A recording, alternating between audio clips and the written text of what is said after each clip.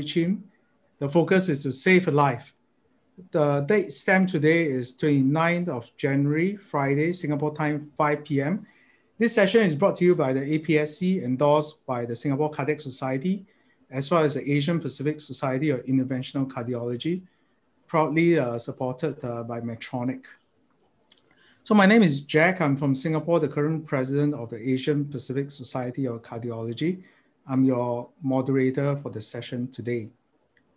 Uh, our speaker uh, is Professor Tan Huay Cheem, Senior Consultant and Director of the National University Heart Center, Singapore. He's going to narrate to us a series of cases on unusual causes of AMI. Our panel professorial uh, inputs will come from Professor Morton Kern, Professor of Medicine and Chief of Cardiology at the Veterans Administration, Long Beach Healthcare, University of California, Irvine from the States. It's 1 a.m. Uh, there for Professor Kern, so I hope he shows up uh, and provide his inputs. Uh, we also have Professor Ashok Seth. He's very uh, well known in this part of the world. He's the chairman of the Fortis Escorts Heart Institute and the chairman of the Cardiology Council Fortis Group Hospital from India. He's the current president of the Asian Pacific Society of Interventional Cardiology. We have two uh, of our interventional fellows dialing in live to provide the live interaction. We have Dr. Koo Che Yang Christopher from the National University Heart Center, Singapore, as well as Dr. Anand from Pakistan. So they would provide the live interaction uh, required uh, to stimulate our professors with their hard questions of course, we're going to put them on the spot to answer some of the questions as well. This webinar is copyrighted by the APSC and should not be distributed without the prior permission of the APSC. The views and opinions expressed in the webinars are those of the faculty members and do not necessarily represent those of the APSC. This content is currently made available by live stream on Wonder Medicine, Facebook, as well as the YouTube pages for APSC. The session is also accredited for CME points by EBAC for regional uh, attendees. For Singapore registered physicians, CME point will also be awarded uh, if you are connected throughout the whole duration of this webinar. You will receive your certificate or attendance upon completing a survey sent by email post uh, webinar. If you have any uh, questions feedback on the cases that is going to be discussed, feel free to type it in the Q&A box and we'll try to answer every question submitted. So the objective of today's session is a discussion around a few uh, unusual, noteworthy cases that Professor Tan has collected over his last 25 years of cath lab experience. And we want to look out really for unusual causes of acute myocardial infarction we also want to learn from the professors in the panel and from each other how to avoid and pick up and treat these uh, cases. Uh, a pitch, we have another upcoming webinar next week. It's the APSC's uh, Champions League, my most memorable and best teaching case in STEMI care. So we're gonna put the regional um, KOLs to compete with each other when they present their best teaching case for STEMI care and the audience will get to vote on the winner. So do join us next week uh, at 3 p.m. Singapore time. So let's uh, get uh, started with uh, Professor Tan's uh, uh, series of unusual cases of AMI. Prof. Tan, please. Prof, you're muted at the Thank moment. Thank you very much, Jack. I'm going to share my slide now. Okay, so uh, so we're going to go jump straight to the first case. Now, this is a 38-year-old Indian national, has got uh, risk factors of diabetes and hypertension and hyperlipidemia. And uh, he was admitted to a regional hospital twice in the last three months for recurrent bilateral lower limb swelling, pain, and fever. Now, he was diagnosed to have superficial uh, saphenous vein thrombophlebitis, and then he was treated with antibiotic and NSAID. Uh, there was some investigations uh, carried out at that time. Uh, ultrasound venous uh, Doppler scan of the lower limb just showed thrombosis of the great saphenous vein and bilateral superficial saphenous veins. There was no deep venous thrombosis. Thrombophilia screen was negative. He also underwent a whole series of uh, uh, CT scan just to exclude any malignancy given his recurrent phlebitis. Uh, there was no malignancy. There was some prominent inguinal lymph nodes. That's about it. However, in a gastroscopy, there was evidence of uh, non-erosive gastritis and gastric ulcers in the antrum. Colonoscopy was normal. His tumor markers were all negative. Now, I said he was admitted twice in the last three months. The day after he was discharged in the second admission, he complained of central crushing chest pain while he was in his dormitory. So these are all foreign workers and this was associated with diaphoresis. The vitals were relatively okay. The blood pressure was 126. It was tachycardic. He wasn't in heart failure. So this is the ECG. Maybe so maybe I can break the ice and get Chris to start off by commenting on the ECG. Sure. So I think it shows um, inferior ST elevations. Um, but reciprocally, there's not I mean, there's some suggestion of mild reciprocal changes, but I think the main thing is uh, inferior ST elevations. I wouldn't enough for you to activate for STEMI. So you you you think you bring this patient to the cath lab? With the history and an ECG like that, I still would. Any idea of the culprit lesion? If anything, it's the RCA, but it's not the most classic. I, I wouldn't say it's a classic uh, uh, ST elevation in the TUS So that's an interesting question, which I'd like to ask uh, Ashok. What are the pointers on ECG that tells you culprit lesion if you have inferior ST? Ashok, you're muted. Sorry, Ashok, you may want to unmute yourself first.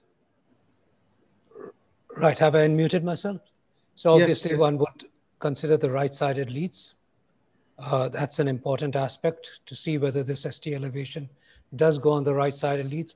Obviously, there's no reciprocal ST segment depression, but that would just indicate more, uh, more a very proximal RCA. Uh, this could be a distal RCA. And of course, I would immediately follow that up also with an echocardiogram, which is very rapidly done, at least in our center, right in the ER to diagnose whether there's inferior hypokinesis in this patient. So Wichima, classically I was taught uh, that this one looks very localized to the inferior leads. It looks slightly higher, two versus 3 mm-hmm. and there's no tall R waves in the precordial leads, no ST elevation uh, in V1. So it looks very isolated. And I mean, in the Indian chap, I find some of them could be a distal circ as well. Sometimes can present like this. If you I'm not thinking of the unusual cases. I'm thinking of classical in my cases. Yeah. Please, okay. uh, please go ahead. Yeah. All right. So this is the angiogram. This is the left coronary artery. Looks pretty okay.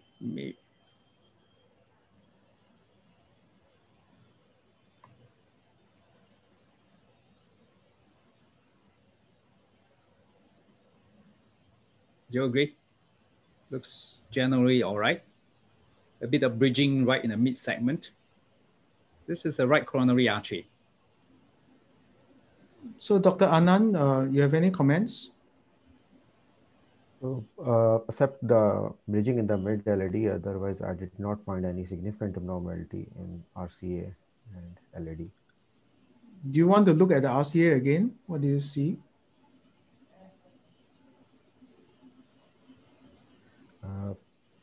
Maybe the pro maybe the ostial RCA, yeah, there is a blockage in the osteo proximal RCA. Yeah, there is a haziness, and that's likely the thrombus in the osteoproximal RCA. Any other observation from Chris? Anything you would like to add? Other than the filling defect in the proximal RCA, um, I guess you always have to entertain other differentials for the bridging in the mid LAD. So I mean, um, I mean, other differentials with dissection and all that if we are going down the rare causes of an MI. But I think the main thing in the right side will be just the main filling defect in the. Ashok, anything from you? Yeah.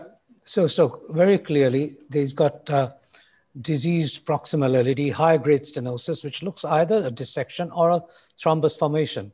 Uh, so the, the differential diagnosis to my mind in a young individual, though this is not a lady, of course, the fact that given the past history of thrombophlebitis, does he have increased thrombogenic tendency? I, I, I, didn't remember whether he was a heavy smoker or not, but he seems to have increased thrombogenicity.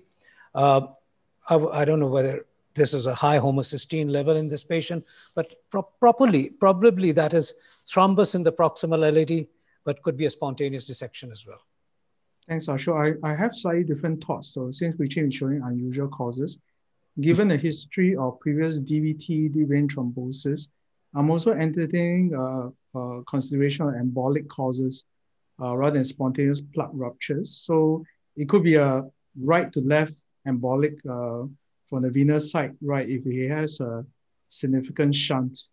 Uh, so that's par paradoxical uh, cardiac embolus is one thing I'm entertaining.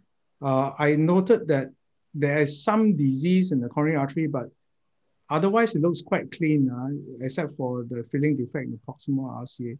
So I mean, that's one thought uh, that came to mind. Thanks, uh, Huay Cheem. Maybe you'll take us through. So the operator, of course, uh, go ahead and do a thrombectomy. Uh, didn't uh, there's still a, a residual uh, filling defect as you can see in the uh, still picture here, but the rest of the artery looks fairly okay if you uh, if you agree. You know, it's a little bit unusual. Uh, why he only has this uh, thrombosis at the ostium or proximal segment of the RCA. So would you stand it? Uh, would you go ahead and stand it or, or, or, you just leave it alone or you give him some anticoagulants and bring him back again or? Uh, this one, I think I'll go back to the fellows. I think uh, it's, it's good to hear what they're thinking now. So you, you have TIMI3 flow, you have a hazy filling defect, yeah. aspirated some. Would you place a stent routinely? Uh, Chris, maybe you first.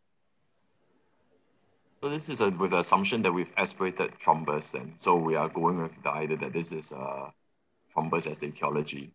Uh, I'm not sure whether there was anything aspirated, but there was an aspiration attempt. I guess an, uh, a possibility is always to image just to make sure that there's no dissection there to exclude the etiology. And I think if you've excluded dissection and um, we think that this is uh, potentially thrombus, given the fact that the outflow looks okay, I think it's okay to consider stenting in this in this case. Can we get some professional uh, professorial guidance from Ashok? Sure. So um, so so this is very interesting, and I think those ECGs below, we still show ST segment elevation.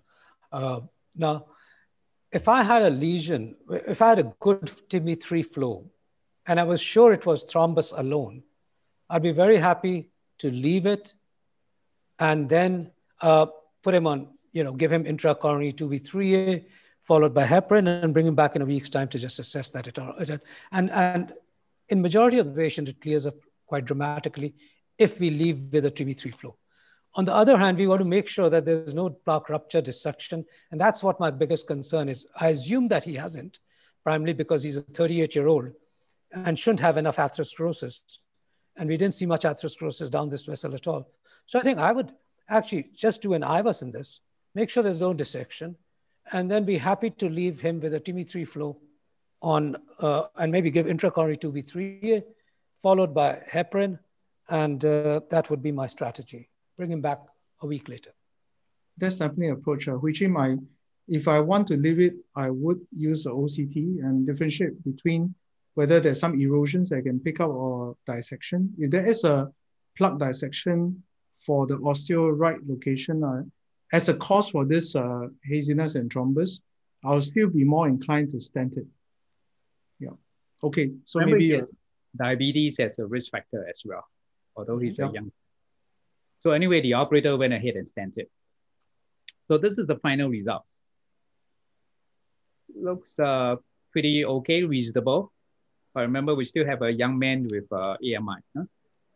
So he was well. And in the ward team uh, who reviewed him the following day, he complained of a painful genital ulcer.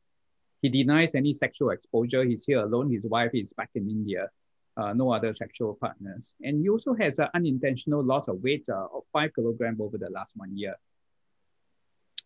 So this was the ulcer that was noted. On the left is the penile ulcer. On the right is the scrotal ulcer. This ulcer looks pretty discreet and defined. Uh, it's a clean base. There's no discharge and so forth, if you will agree with me. Okay, it was uh, painful.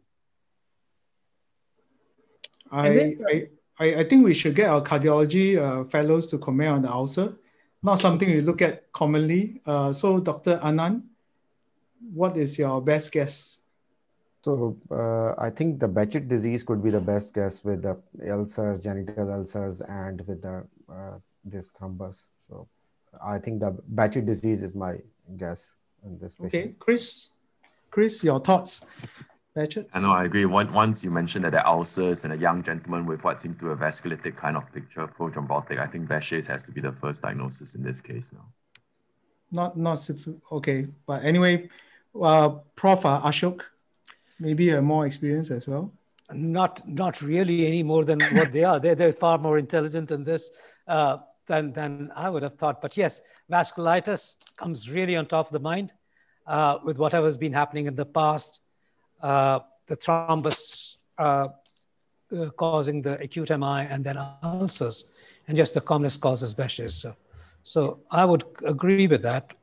This doesn't seem to be to be. Yeah, but I I, I don't trust sexual history here. You have a young man living alone without his wife. I think I still entertain STDs, man. So uh, syphilitic chancroid uh, is also. Well, that's a good thought. Yeah. So, yeah. yeah. So, uh, Huay Cheem, but I don't know how to link that together though. Huay Cheem. We'll go on. So when we look at his lower limbs, uh, there was some uh, evidence of uh, phlebitic changes. And uh, when we look at his hands, interestingly, uh, in those areas that he had actually had a puncture or blood drawn, uh, there's some papillary changes on, on his hands.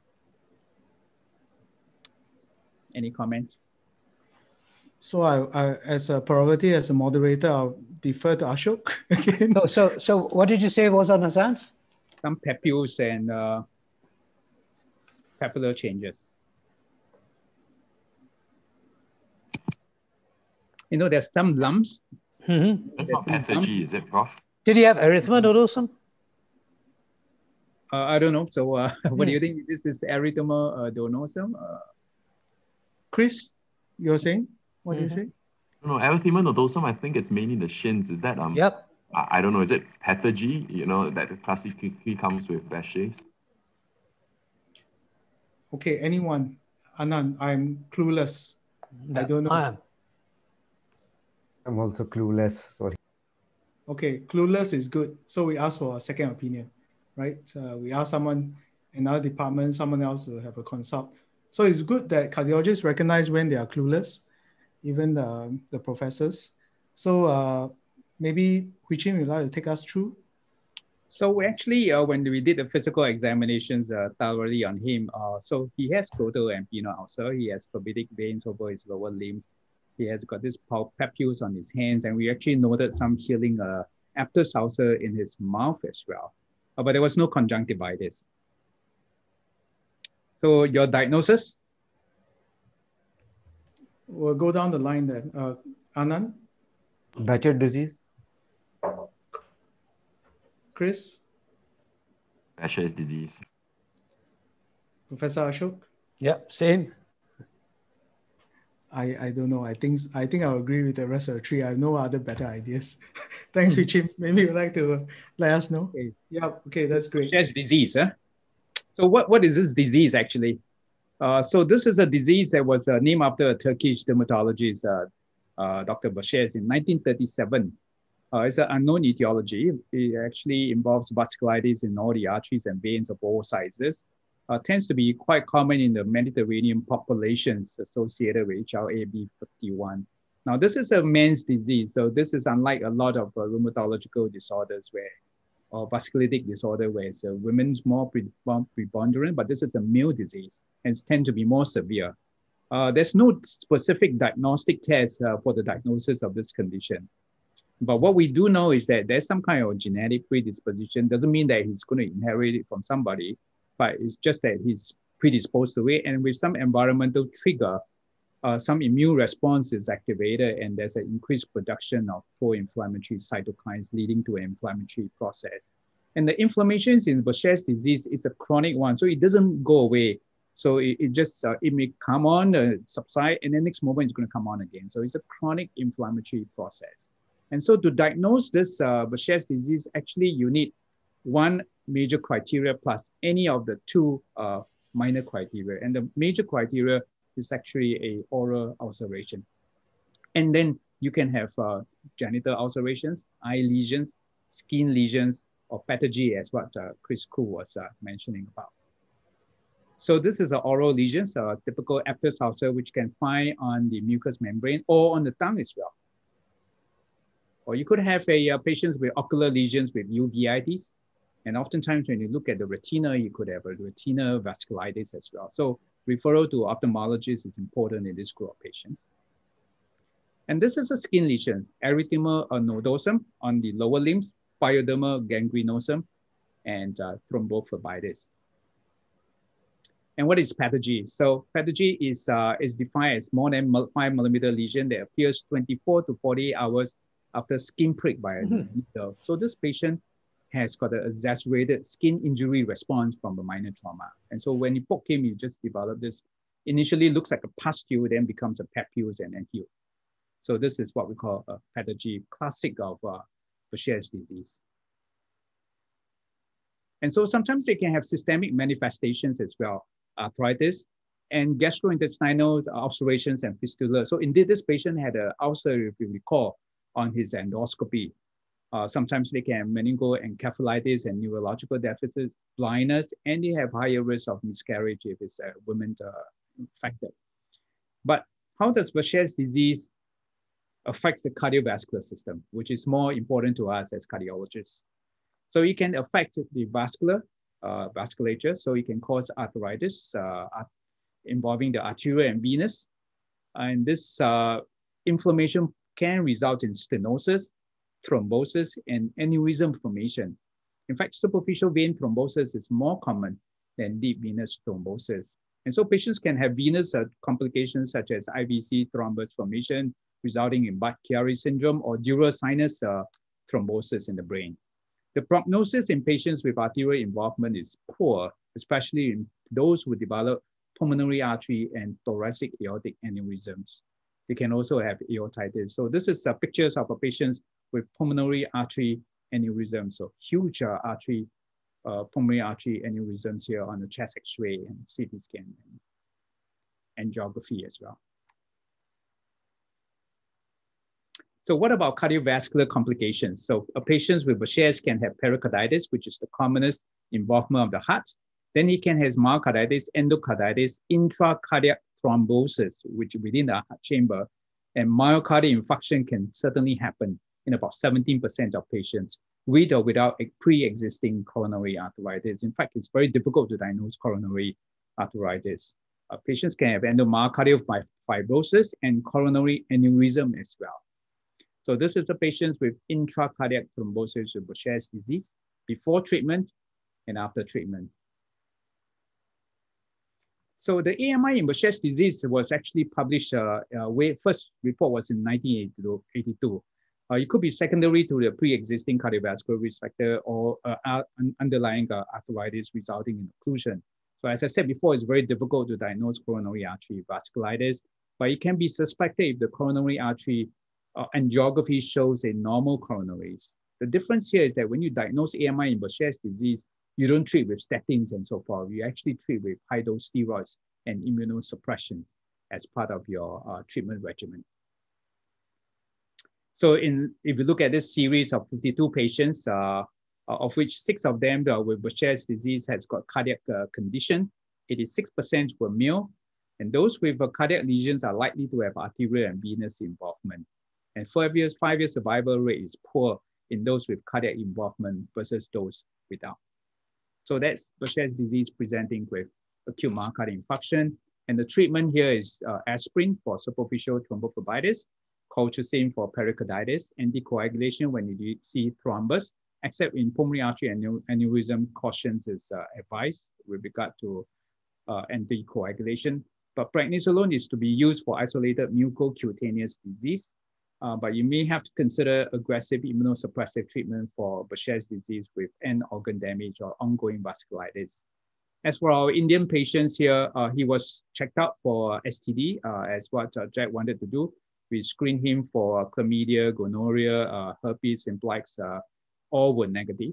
He was referred to eye, there was nothing in his eye retina, and he was started on prednisolone and then hydroxychloroquine and followed by subsequently azathioprine, and he's currently still in remission. Excellent, so yeah. So I, I mean, I must say, I've not seen a Behçet's disease with vasculitis. So I'll defer to Ashok. Uh, Ashok, any experience points? Uh, you're still muted. Sorry, Ashok.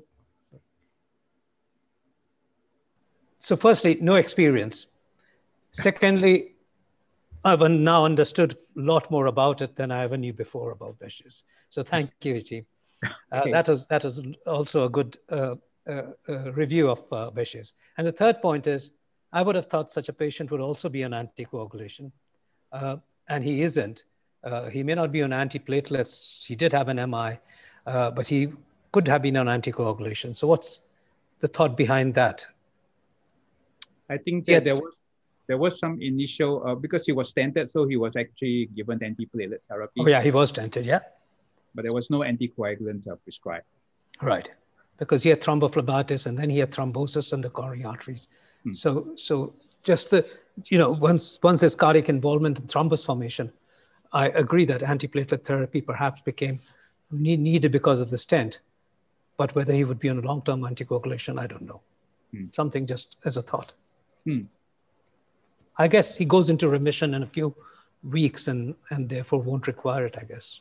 Yeah. Thanks. So we move on to the next interesting case. Am I? There are a few more to go. So remember, this is a this is second case is a 42 year old Chinese male, uh, no cardiovascular risk factor of, of note at all. He's a crane operator. He was just having his shower when he presented with sudden onset of chest pain of two hours duration. And this is the ECG. What do you think? So we get uh, Anand now to comment on the ECG. Uh, Dr. Anand, what are we going to No do? risk factors in a young man, relatively young man. So there are ST elevation in lead V2, V3, V4, V5, V6, but there are no reciprocal ST depression in inferior leads. So, uh, so would you bring this patient to the cath lab or thrombolyze him? So uh, it's a young patient. I would like to uh, have, as we have available echocardiogram in emergency, I would like to do echocardiogram to rule out any other abnormality. And then if there's segmental wall motion abnormality, then yes, I would like to bring him to the cath lab. Chris? Yeah, I mean, with a history like that, I think I would, but I just like to make sure that it's also not a dissection. So either a quick X-ray or you know, a quick echocardiogram just to make sure there's no signs of a dissection as well. As an aortic dissection, you're referring to? Aortic dissection. Okay. Uh, Huay Cheem? Angiogram first, since this is a classic uh, ST elevations MR on the ECG. But look at the angiogram.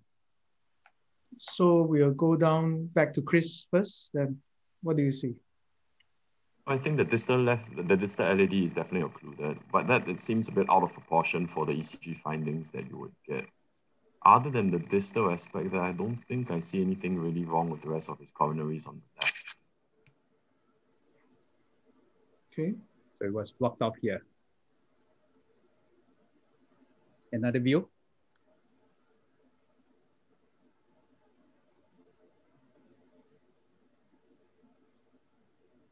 Okay. Dr. Anand, if you have any comments, feel free. I agree with the Chris. Digital LAD is occluded. So, so what would you do now? So I will uh, try to do wire that distal to uh, wire the LAD. Would you do aspiration or just do ballooning? So I will do the wire and then we'll do the aspiration. Chris, is that what your thought? in NUHS? I think, um, yeah, I, I, I mean, routine thromboaspiration isn't the, the, the, standard, but I think in this case, because it is quite clean as coronaries, um, I think I will try and suck as well. Okay, so we'll see what you find. So Ashok, would you aspirate or you just ballooning?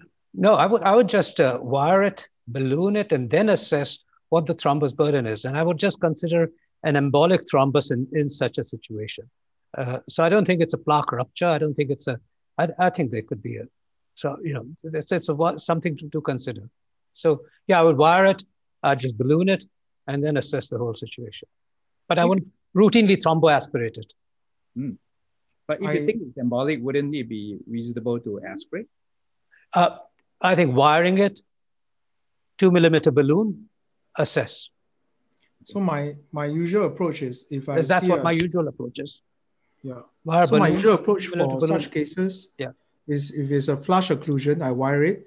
A post wiring, there's flow, and I'm able to see distal to the lesion. I yeah. don't aspirate yes. anymore. Correct. But if I wire it and I don't see anything, I tend to aspirate rather than balloon, and then see what I find uh, after aspiration. Although I think the evidence for routine aspiration is definitely not there. Yeah. Okay. And the two millimeter balloon's a good idea. It gets you flow in those situations where you don't have flow to assess. The coronaries does look very clean though, Hui and there's no collaterals to the left. Mm-hmm. So I think Ashok is onto something in thinking that it could be embolic in nature.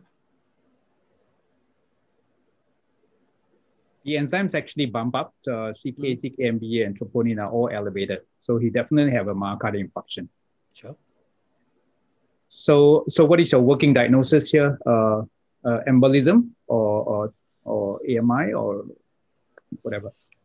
Will so, you ever aspirate? So we'll, we'll aspirate. I'm going to show you the results after aspiration. Hmm.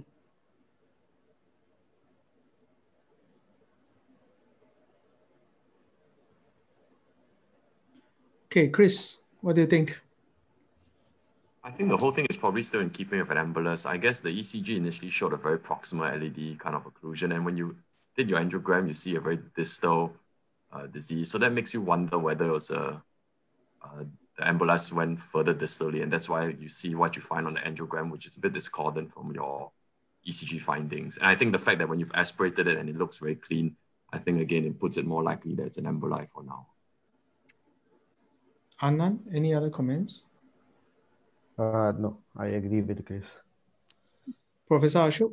Yeah, I, I, mean, I won't go with the fact that the, I think it fits in with the EKG.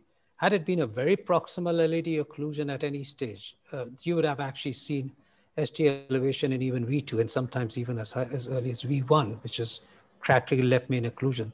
So I think it was, it, this was V3, V4, V5 that you had the most of the ST elevation. I think it fits in with that, that that uh, occlusion itself. And uh, yeah, embolic occlusion comes to the mind. And now so we look I at think, why I did think, he have an embolic occlusion. Mm-hmm. So where did yeah, I think there was a few pointers here. One is there's a bridging segment there, the artery tapers down right at that uh, bridging segment where occluded. And I, I think you will get a better hint when you see what comes out of the aspirate. You probably can get a hint of whether this is a fresh clot or some form of embolic uh, material. So it'd be nice to see what came out when aspirated, Richie. Some some whitish material didn't didn't bother to even keep. Uh, so uh, uh, nothing was mentioned by the operator actually as to what was retrieved. Uh, maybe maybe something that was not there, or he didn't he didn't think there was anything significant. But what test would you do now? I mean, how are you going to improve your diagnosis? Chris, again, what's the workout? I guess intravascularly you can image just to make sure there's no signs of an acute plaque rupture, just to be sure that you're not missing anything angiographically.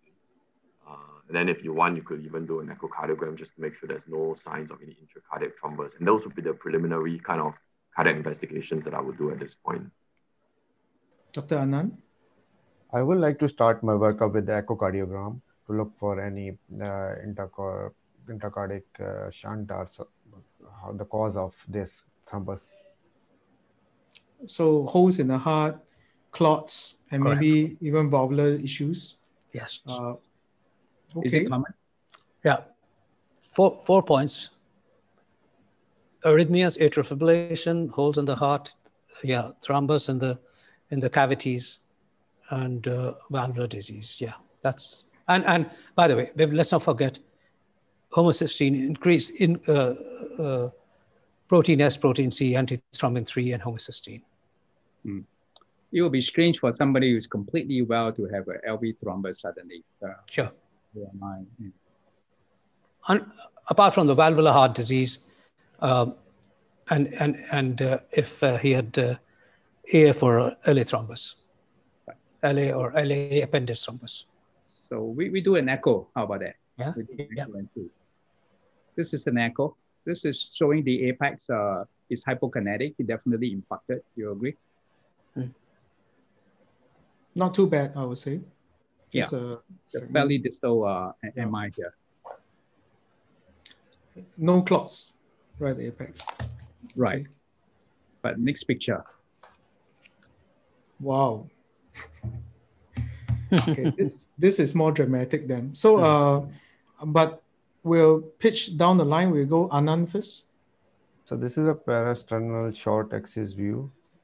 And there's a homo long axis view. Yeah. yeah, long axis view. There's a echogenic density on the mitral leaflet.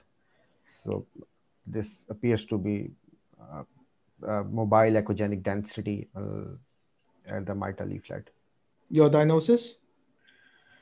Differential so, diagnosis, maybe. So it could be thrombus, it could be uh, it could be tumor. So these are the two. Uh, it's unlikely a vegetation. The third okay. one. Okay. Uh, thanks, Anand. Chris, what's your one diagnosis? Probably a myxoma, but I'm just curious what we aspirated out from the thromboaspiration, whether it was a clot or a fragment of the myxoma. I'm just curious. So maybe we can move on to Ashok, professorial yeah. diagnosis. Huh, this is, I mean, it's it's not typical of myxoma. I mean, this is, or, or it it's just got too many fragments on it. It's almost too shaggy for a myxoma, but it still could be a myxoma with a lot of thrombus. It does seem to be pedunculated because it's moving in and out. Uh, there's, there is no other reason for this patient to have a left atrial uh, clot unless he had some form of a, a, heart muscle disease. So I'd go for myxoma, but it looks more like thrombus to me. Yeah, so if you ask me, this patient is in sinus rhythm, the yeah. nature of the mitral valve looks fairly normal. Uh, I don't see any color here, but I presume there's some regurg. I will go with myxoma. There may be a peduncle coming off of the atrial wall that we're not seeing on this view. So the frond-like appearance, the fact that it did embolize some, I mean, it agrees with the history. Um, I, I will go with myxoma. How okay. frequent does myxoma embolize to the coronary? It's actually much easier to embolize to the brain, to the rest of the uh, systemic vasculature, than to go into the coronary. Yeah, you're right. So I'll check for other places where it did embolize as well. but but, but Huay Cheem, uh, you know, rarity, it does happen. Uh, mm-hmm. So so LA thrombus uh, is known to go into the coronaries. Do you think it goes more to the left or go to more to the right coronary? Yeah. but either is possible. Goes more to the right, but either is possible. If the, the blood flow is such that it probably aim towards the right, if anything, isn't it? Yeah, but I, I agree, Ashok. I think you can go either if yeah. you analyze. Yeah. That's right. I want to show you the other view. It's okay. really mobile, you know.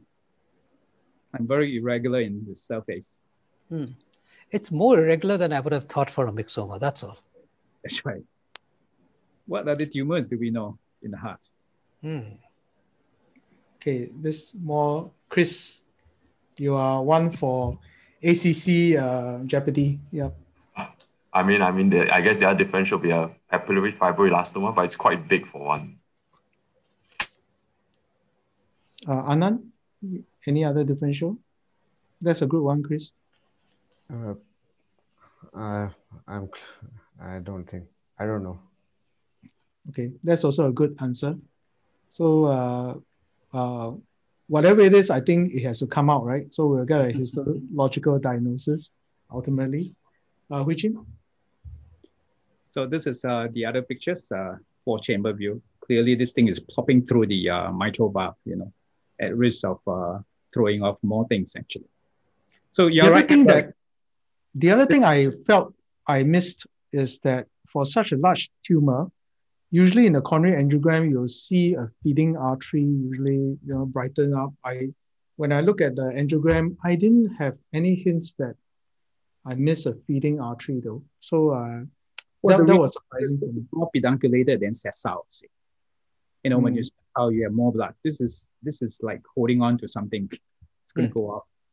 Maybe that's the reason. But indeed, this is a left atrial myxoma with coronary embolism. And let me tell you that this is an extremely uncommon situation. First of all, primary tumors of the heart are rare. Prevalence is only 0.02% in autopsy series. And 75% of cardiac tumors are benign. And myxoma accounts for 50% and rhabdomyoma uh, accounts for 20% of the benign tumors. The majority of the cardiac myxomas are sporadic and mostly occur as an isolated lesion in middle-aged women. So 75% of cardiac myxomas arise from the left atrium, 20% of them from the right atrium, 5% in both the atrial and the ventricle.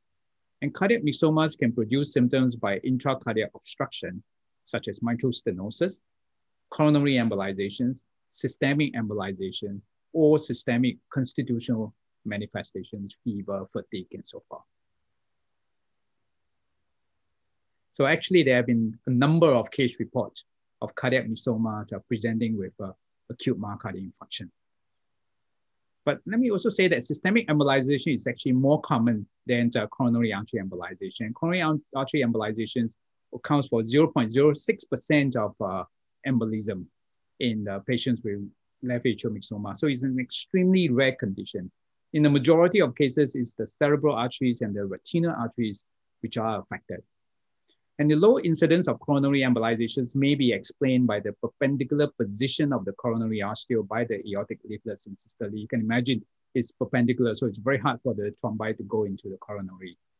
And uh, among the patients that present with myocardial infarction, actually RCA infarct is the commonest, it's 47%. LAD is 10% and circumflex is about 10% as well. So what you're looking at here is an exceedingly uncommon AMI in the LAD territory.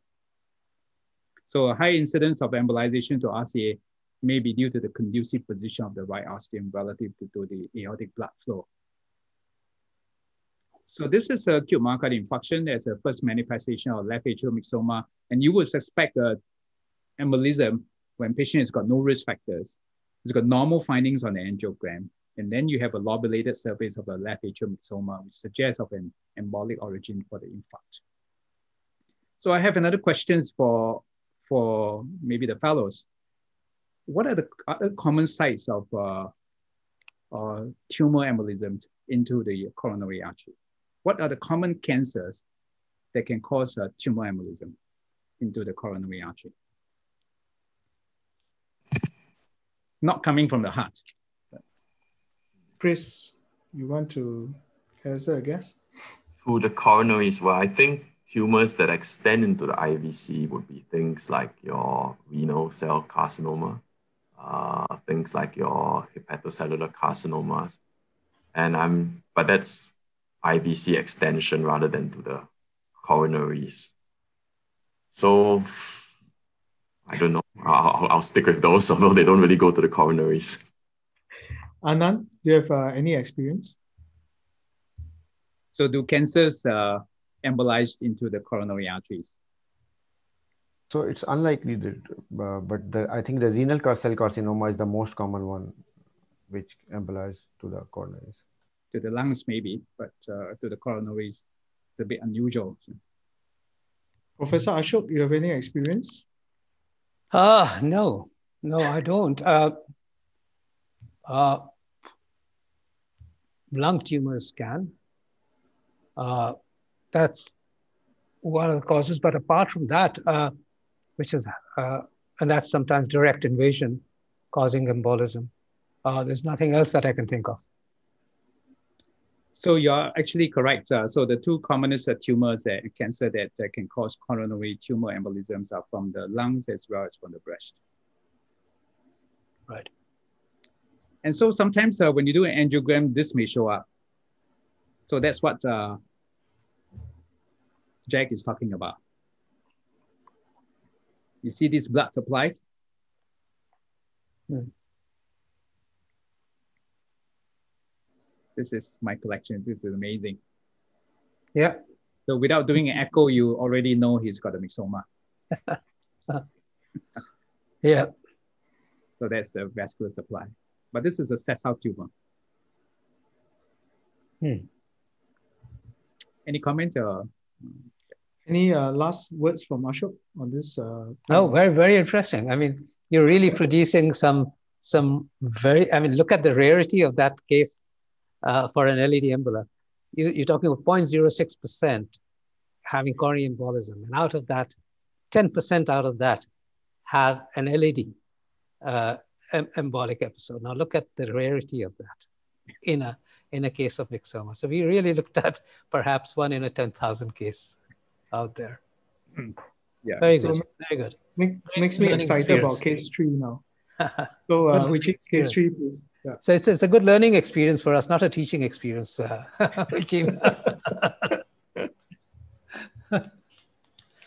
this is the 44-year-old Vietnamese lady so with hypertension and hyperlipidemia, and then presented with sudden onset of chest pain. Uh, six days ago, actually flew to Singapore in an ambulance for further treatment, and that's the ECG. So Dr. Erin uh, from Malaysia is in. I'm not too sure whether you're able to broadcast yourself, if you can.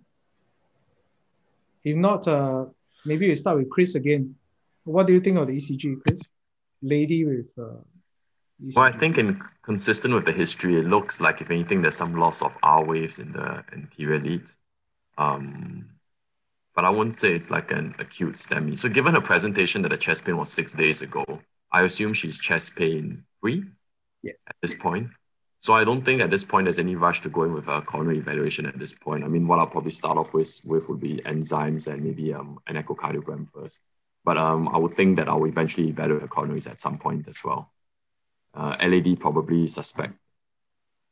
Dr. Anand?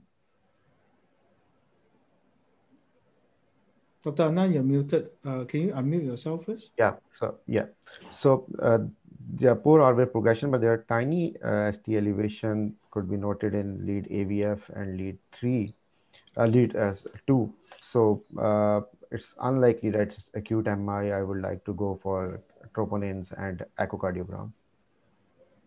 Also, the history, I, I would like to know what's a childbirth history, oral contraception, and stuff like that as well. Uh, okay. Maybe we move on. Yeah. So we brought her to the lab.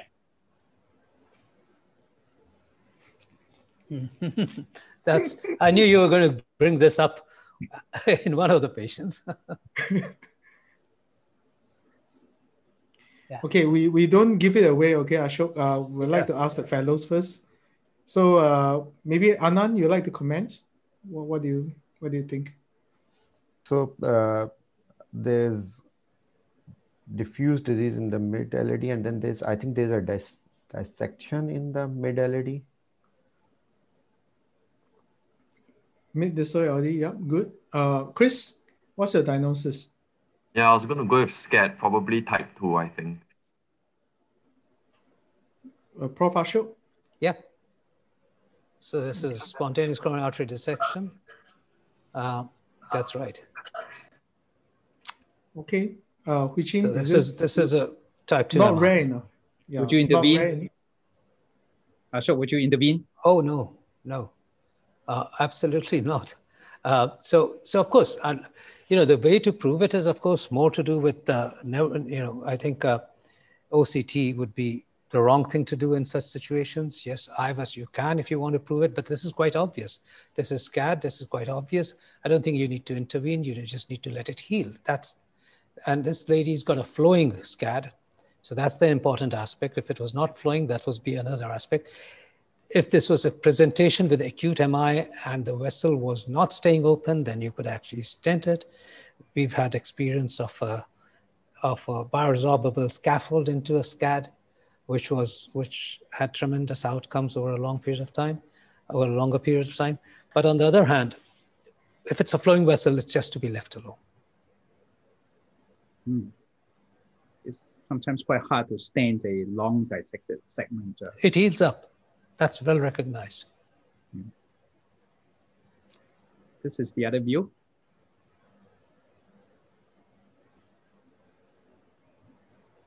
So at this point in time, uh, what we do, what should we do?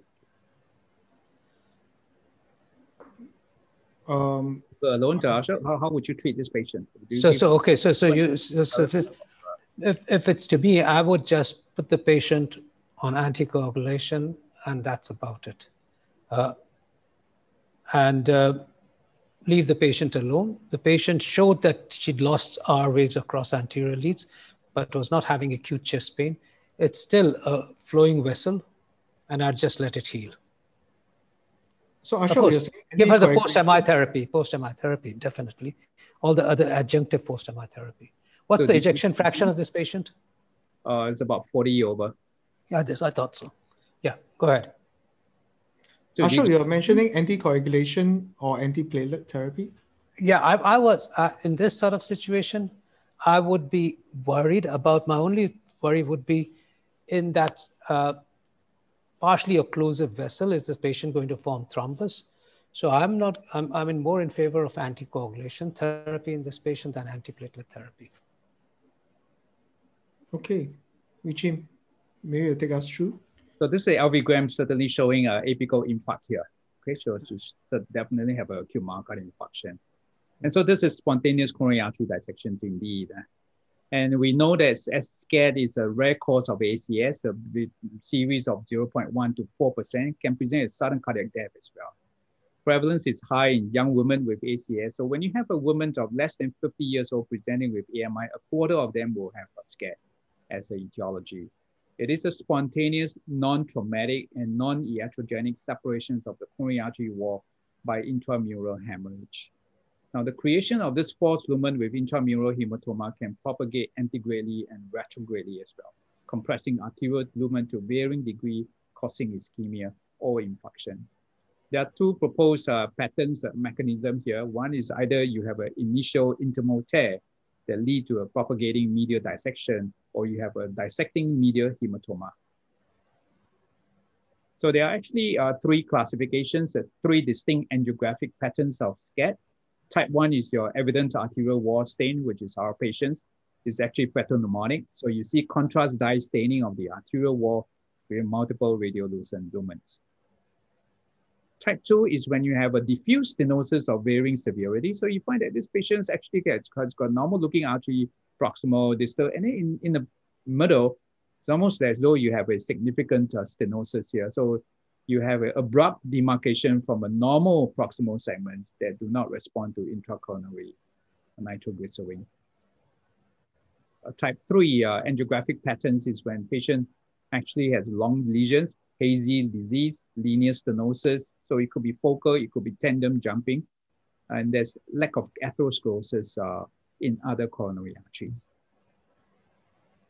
So this is in a nutshell, angiographic classification cartoon drawn by my uh, fellow colleague.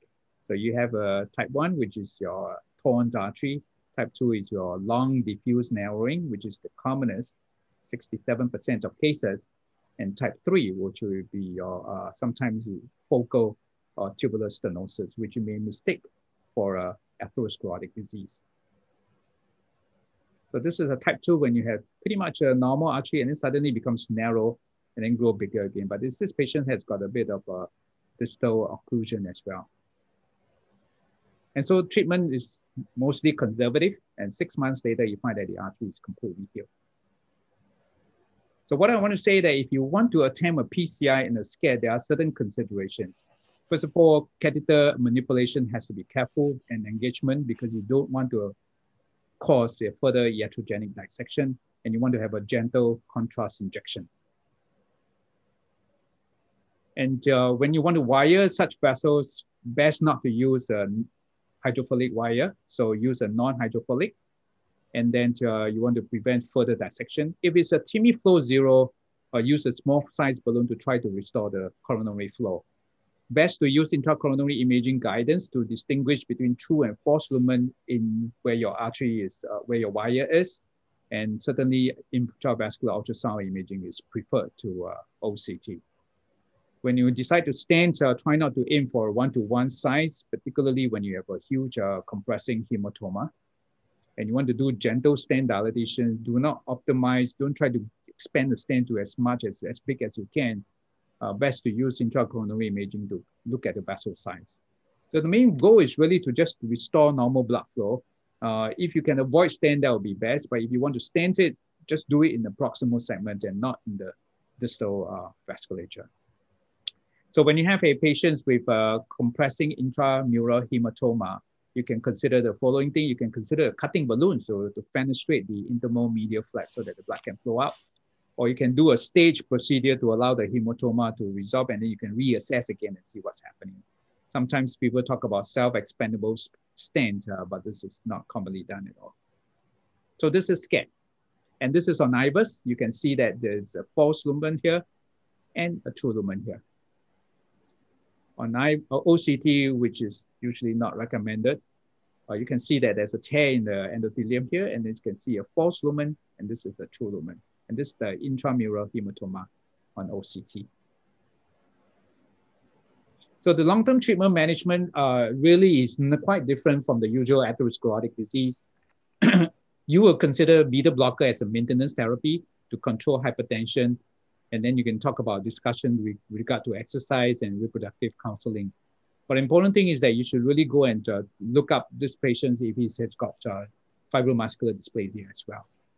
And finally, to improve quality of life, a lot of these patients may have concomitant psychosocial disorders. So some kind of management uh, will be necessary. Thanks, Cheem. That was really something that needs to be emphasized again. Thanks for showing us this case because I see a lot of chats from the fellows attending. A lot of people pitch that stenting, go ahead and stent it. So I think Ashok's point need to be re-emphasized. If you do make those diagnoses, one option when there's flow is let recover, and some form of antiplatelet or anticoagulation and uh, the therapy that you mentioned. Recognition is probably key in this, rather than trying too hard. I think sometimes it leads to massive complication.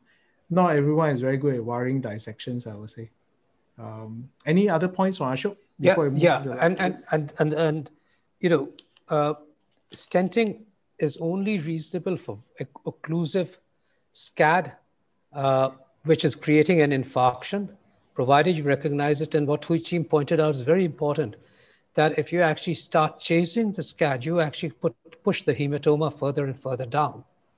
And occasionally you may end up using a cutting balloon to to remove that hematoma. So it's best only to stent the entry point to just restore flow and not try and stent the whole segment because either you continue the dissection upward or downwards or you continue the, the hematoma which continues to creep distally uh, and occlude the vessel further. Thanks, uh, Ashok. So in the last 10 minutes, we'd like to finish up the last case, Richie. Yeah. Okay. 82 year old Chinese lady, no risk factor, presented with intermittent chest pain. Okay, we'll go down the line again. Uh, Chris. Uh, some ST elevations anteriorly. Uh, I don't know how convincing the history is. Uh, if I'm not too convinced, I may opt to repeat the ECG in about five minutes just to look for any evolution of changes. But if in doubt, I'll bring her to the cath lab. Since uh, this presentation on MIs. Dr. Anand?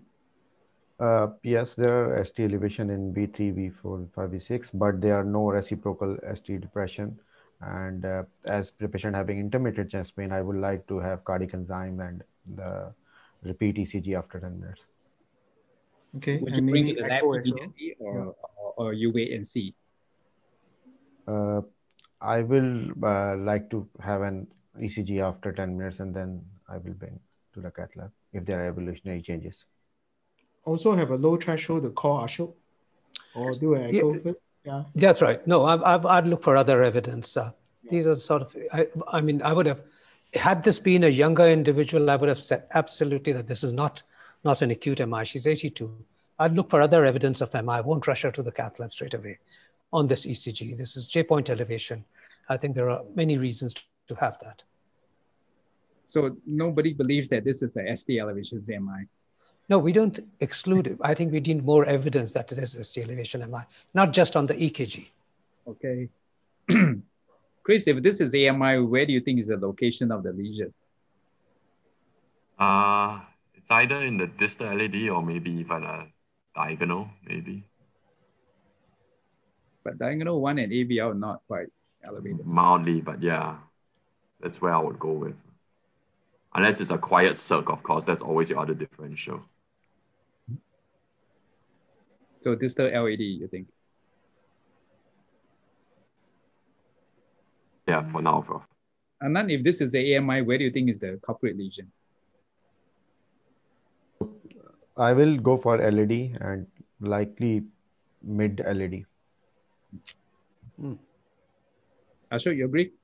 Yeah, I don't. No, I don't. I mean, yeah, that's that's certainly one of those, but it could be, it's it's somewhere around the apex, and that could also happen from a huge OM coming to the apex instead of the LAD.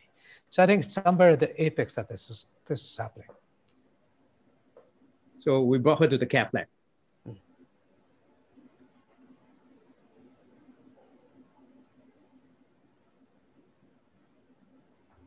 What do you think? So Anand, um, what are your observations first on angiogram? So, so I, I, I do not find any uh, any significant stenosis in LAD. But beyond stenosis, uh, Chris, do you notice anything else? I mean, the apex is definitely not moving. Uh, the LAD extends right to the apex as well. Mm-hmm. So the apex is mainly supplied by the LAD. But other than that, no, other than the apex not moving, I think that's all I can see. And nothing high grade in the LAD. Is this okay, I think the op- I think the operator is quite sure it's MI. I think it looks like a guider straight up. So um, uh, I, I also noted that the heart doesn't look like it's contracting that normally, but uh, other than that, don't see much. Uh, Ashok, do you see anything else? No, no, I don't. Nothing else that I can comment on. Anything else you would do now? And, and I would like to, you know, what about the other view? So, so you're telling us there's nothing in the LAD, there's nothing in the circumflex as well? Yes. Okay. Anything else so, that you So what, what, what did the RC show? This normal. Okay, RC is normal as well. and I think LV gram could be the option as patient in the cath lab. So did this patient had any grief recently? Was this Takotsubo for any reason? No known grief here. But no, no known, no known uh, stress either. No known uh, stress factors, but this is a acute setting, so Yeah. but LV gram, would you do, uh, Ashok? Do you normally do uh, LV gram? No, I don't. And I would, I wouldn't have done it. I would have just found my findings on the echocardiogram. Oh. So in this case, I, I think in this case, you know, it's a routine, yeah. but in this yeah. case, if you can't find much and you are thinking of Takotsubo, maybe worthwhile just getting a diagnosis. Yeah, yeah, yeah, that's right. You, you have a diagnosis on the table then. So I agree with Jack. In this case, though routinely I never do it. Uh, that's what I did actually. Hmm. How long ago was this, uh, Huay You mean the symptom or? I, I mean this this case that you're showing us. Um, I, I can't quite remember. A couple of years maybe. Okay. When I was still excited with this condition. so what what what will be your diagnosis, Dr. Anand? Takotsubo cardiomyopathy. Chris? of apical wall. There must be something more than Takotsubo in a talk like this. So, okay. Uh, what is the criteria for Takotsubo? May I know, Dr. Anand? Uh, sorry? Uh, what are the criteria, diagnostic criteria for Takotsubo? So, are you uh, aware? Uh, no, sorry, I'm not aware. So, uh, so this is indeed uh, Takotsubo. uh, because if you look at the thoracic uh, echo, uh, there is again uh, apical dilatation and hypokinesia. So an echo, this is uh, pretty uh, classic. Um, not playing so well, but never mind. so again, you see LV dilatations and akinesia. Uh, to diagnose Takotsubo cardiomyopathy, we have the Mayo Clinic diagnostic criteria. And this is uh, the criteria here. Uh, it's a transient LV systolic dysfunction with regional motion abnormality extending beyond a single coronary distribution. So you should have absence of obstructive coronary artery disease or any angiographic evidence of uh, acute plaque uh, rupture. So sometimes patients can have coronary artery disease uh, concomitantly, but the diagnosis of stress cardiomyopathy can still be made if the regional wall motion abnormality does not correspond to the distributions of the CAD. Uh, you should have new ECG abnormality, ST elevations, T-wave inversion, or modest elevations in troponin. You have to prove absence of pheochromocytoma or myocarditis, and patients almost certainly, if they survive, will have subsequent recovery of the EF. So actually, there are five types of wall motion abnormality. Uh, we are most familiar with the apical type, which is 80% of cases. Actually, there's a mid ventricular type and there's a basal type as well. And there's a focal type. You know, this focal type, when you see somebody who's got this anterolateral, just out pouching and so forth, think of a, a Takotsubo cardiomyopathy of the focal type. So this is a patient with a mid ventricular uh, cardiomyopathy, uh, uh, Takotsubo. So only the mid ventricle is akinetic the base as well as the apex are contracting. And so we know that 90% of those affected are post-menopausal women, mean age of 70, often uh, but not always triggered by intense emotional or physical stress. So it could be a negative stressor, grief, anger, fear, or life stressor, or physiologic trigger, respiratory distress, neurologic stroke, or something like that. Sometimes besides negative stressor, uh, positive stressor can also cause Takotsubo, in case you don't know. There's this thing called the happy heart syndrome, the Diagoras uh, syndrome. So if you're too happy, you can also get Takotsubo heart attack. 4% of cases, uh, pleasant experience.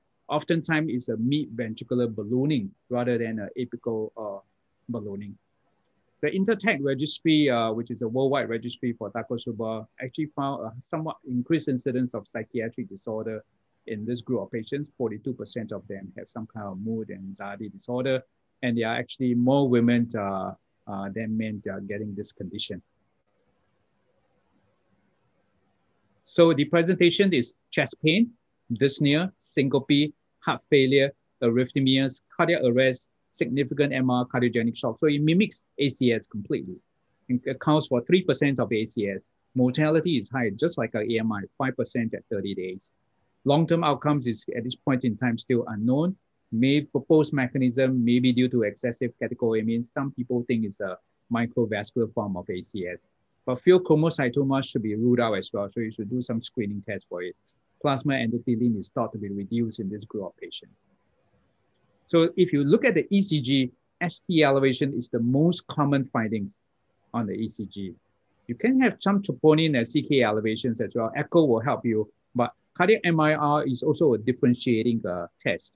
When you have a Takotsubo, you don't have late gadolinium enhancement but when you have AMI, you get intense subendocardial or transmural late gadolinium enhancement.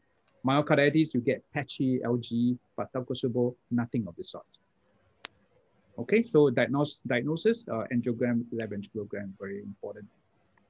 So this is the ECG of all my patients with Takotsubo cardiomyopathy. And you can see that invariably, they all have ST segment elevation. Okay, so some of them looks pretty, pretty frightening actually almost like a usual uh, acute myocardial infarction of the wild type. So with that, uh, thank you very much for your attention and participation. These are my four cases of unusual AMI. So we'll, we'll get uh, Ashok to have his uh, professorial comments and uh, for this session first. Thank you, Eugene. I think they were, they were, they were uh, very, very informative cases. Uh, great collection. Made us all think, made us all not be you know, working from a spinal level, but more from a brain level. Uh, dealing with acute MI and primary PCI has just become so much of a habit that the moment we all see an ST elevation pattern all we know is how to rush the patient in into the cath lab and then deal with any occlusive disorder that we actually see. Now, this just reveals that there's a variety of presentations of different disease processes as acute MI, and has also made us not just think more about it, but also made us revise uh, some of the concepts which we learned during our training days and have not come across so regularly in our practice. So when you bring up these rare cases, it just tells you that regularly we've got to remind ourselves of those rarer causes because there's a whole different way, different way to deal with, uh, with uh, such patients. It also helps us to brush up much of those learnings that we had over a period of time. So I think they were incredible. We should have more of this. And I would say it's educational for all. There are no professors in this, and there are no students in this, and there are no fellows in this. I think these are where we share learnings from each other because these are rarities. And we need to continue to learn uh, as even however experience that we may get. So I think there's great teaching experience and great learning experience for all of us. Uh, Jack, great session organized. And I think I, I must comment also the the fellows, I think they were thinking through every step. I think Huay Cheem had warned that these are going to be rare cases. Believe you me, never go into a case thinking it's rare. Start thinking of the common things because I could see that all of us were faltering on the, even the diagnosis of acute MI when it was actually an acute MI because we were looking too more too much deeply into whether this is an MI or not. So I think all of us also learned that first things first, go for whatever you think it is and then start sorting it out as you go along. So thanks, thanks yeah. I, I, I, felt uh, Ashok said it all, so I don't say much more, but I'd like to thank Huay Cheem again and the fellows for participating. Huay Cheem showed us some really rare ones, but one thing I like about Huay Cheem's series of cases, he showed us things that is not so rare. It's uncommon, but not so rare, and thus we do need to pick up on those cases like Takotsubo's, SCAD, and all this. And he showed us great variety of these cases through his 25 years of experience. And I really particularly like his summary. It was a couple of slides, but it really captured all the facts you need to know as an interventional fellow, cardiology fellow on the respective conditions. So uh, I'm looking forward to the next professor round with Huay Cheem. The next series, Huay Cheem, uh, what do you intend to do with us? I think I will share with you my years of collections of coronary anomalies. So look out for it. Uh, we have agreed. We have had two sessions on unusual cases of AMI. The next uh, session we'd like to have from Huay Cheem is unusual coronary or structural anomalies. So watch out for those uh, sessions coming up. And I'd like to thank everyone for their time and participating for the whole duration of the session. Um, thanks a lot and uh, keep safe, guys. Bye bye. Thank you. Thank you. Thank you. Bye bye, everyone. Bye.